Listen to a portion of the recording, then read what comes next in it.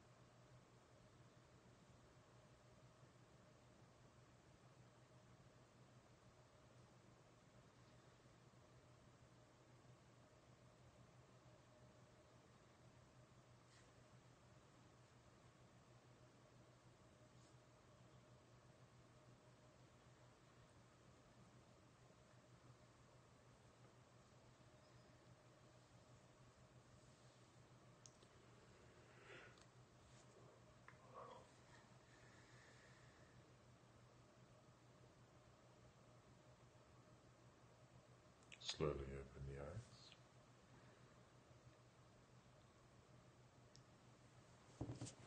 Any questions? Hi, Hosier. Hi, Sean Hossein. Hoosiers, eight. no questions, so we'll finish it here and